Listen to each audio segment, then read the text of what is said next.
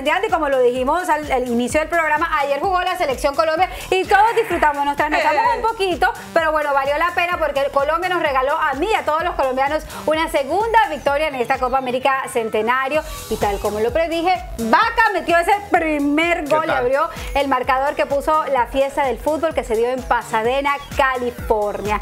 Pero de verdad que fue espectacular el juego. Espectacular el juego, pero les digo que en toda Colombia celebraron este 2 a 1 de la selección sobre Paraguay. Ahí estamos viendo imágenes de los hinchas que salieron a las distintas calles en las ciudades colombianas a disfrutar. Estamos viendo Barranquilla, estamos viendo Medellín, Bogotá, que salieron a las principales plazas, a las principales calles a disfrutar de este triunfo de manera muy pacífica, muy juiciosa los colombianos. Ahí estamos viendo Bogotá porque están con camisetas más pacífica, una cosa pacífica. Esa es la pasión, así se ve, así se ve. Bucaramanga, Cali, todo. Mira cómo salían en caravana a festejar. Ahí está. Qué, qué, divino, de verdad. Mira, imágenes, pancartas en todos lados. Y no solo los colombianos que están en Colombia disfrutaron, los colombianos que estaban en Pasadena, que esa tribuna no estaba tan llena, pero se veía el amarillo de los colombianos, también montaron una tarima y empezaron a bailar, porque donde están los colombianos hay música. No, y déjate eso, también aquí en Miami, en todos lados. siempre están buscando el pretexto para hacer fiestas. Ah, sí es, somos un país fiestero. Y qué bueno, qué, buena fiesta, Dios mío, no me quiero imaginar si Colombia gana la Copa América. No, nos, vamos, nos tenemos que ir a ver la final allá. Tenemos que ir.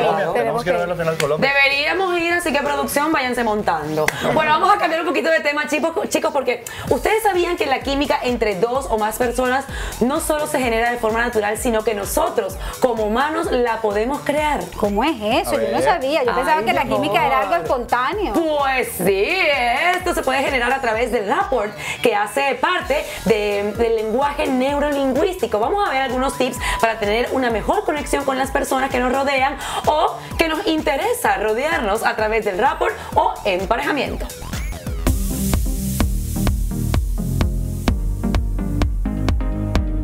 Rapport es la empatía que nosotros podemos generar en una relación particularmente.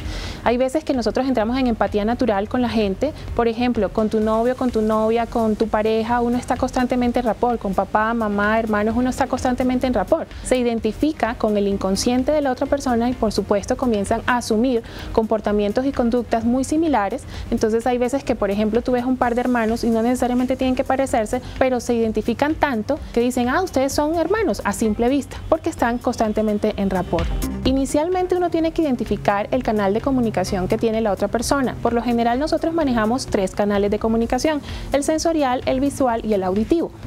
Si tú identificas a través de ciertas características cuál es el canal del, por ejemplo, del visual, una persona visual es la persona que pues se viste muy bien, que está muy bien maquillada para las mujeres que tiene el blower, por ejemplo.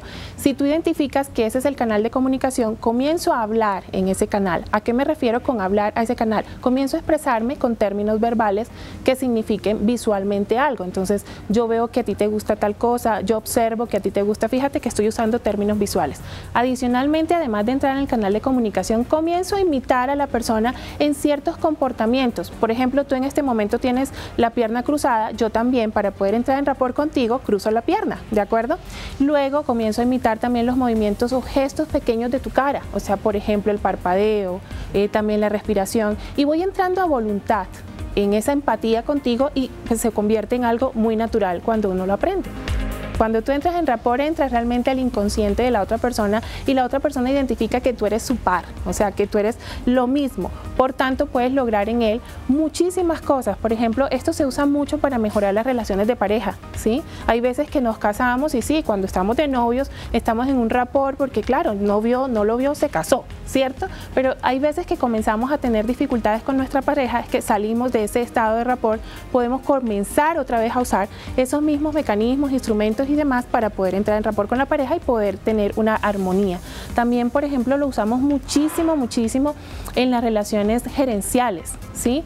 Eh, tenemos un grupo de trabajo y resulta que eh, el grupo de trabajo no nos está funcionando adecuadamente, entonces el gerente comienza a utilizar este tipo de estrategias para poder entrar en comunicación y en empatía asertiva con su equipo de trabajo y lograr, además de conseguir un trabajo en equipo, lograr el objetivo que quiere la organización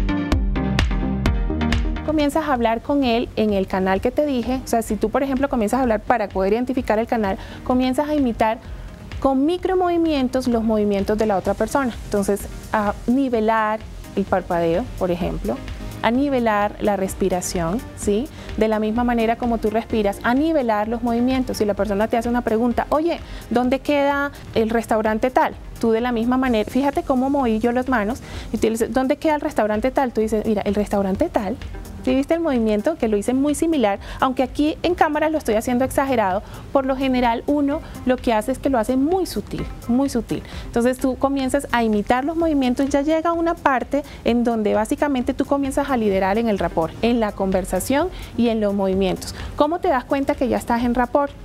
Cuando, por ejemplo, tú particularmente, o sea, en este caso yo hago un movimiento y tú me lo repites, sin necesidad de decirte hazlo. ¿Cierto? Ahí es donde yo me doy cuenta y ahí es donde yo puedo decirle a la persona haga tal cosa o tal otra. Por eso es que el rapport es muy delicado al usar porque es una herramienta que se usa, eh, que se debe usar éticamente.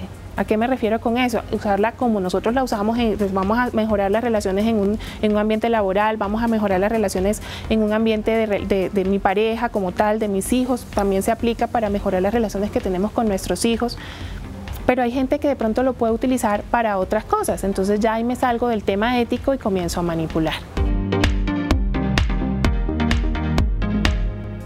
Ahí está. A mí viene la pregunta, una pregunta a la cabeza. A ver. ¿Tú has entrado en rapport con nosotras dos? Yo siempre, no, porque siempre las no, no, no, nunca, nunca, yo nunca, he cruzado la, pierna, la, es cierto, Bueno, pues con esa pregunta nos vamos a unos comerciales, ahorita lo platicamos. Vamos a unos comerciales que tenemos mucho más de este programa.